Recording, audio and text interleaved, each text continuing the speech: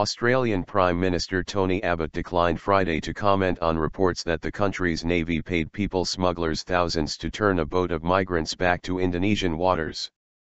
We don't comment on operational matters. We are determined to ensure illegal boats don't get to Australia, he told Radio 3AW. Abbott's comments come a day after Indonesia's Foreign Affairs spokesperson Arrmanatha Nasir told Anadolu Agency that they are awaiting the results of an investigation into claims that two boats carrying six crew and 65 illegal migrants entered Australian waters in May. He expressed concern over information they had received suggesting each of the crew was paid $5,000 to leave the country's waters. On Friday, Abbott stressed that Australia will do whatever is reasonably necessary to protect our country from people smuggling and from the effect of this evil and damaging trade that cost lives. What we do is we stop the boats by hook or by crook, he added. That's what we've got to do and that's what we've successfully done. I don't want to go into how it's done. Abbott's government was elected in 2013 after pledging to stop the boats of migrants and asylum seekers trying to enter the country many of whom use Indonesia as a transit point.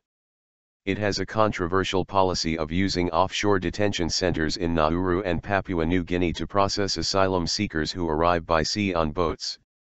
Abbott told a press conference later Friday that a whole range of measures had been used to stop the boats because that's what the Australian people elected us to do. The Sydney Morning Herald reported Wednesday that the allegedly returned boat containing 65 Bangladeshis, Sri Lankans, and Rohingya Muslims, all of whom were seeking asylum in New Zealand was intercepted by Australian Navy and Customs officials in late May. Migrants who were on board the vessel said that the crew were also supplied with two new boats to transport them back to Indonesia.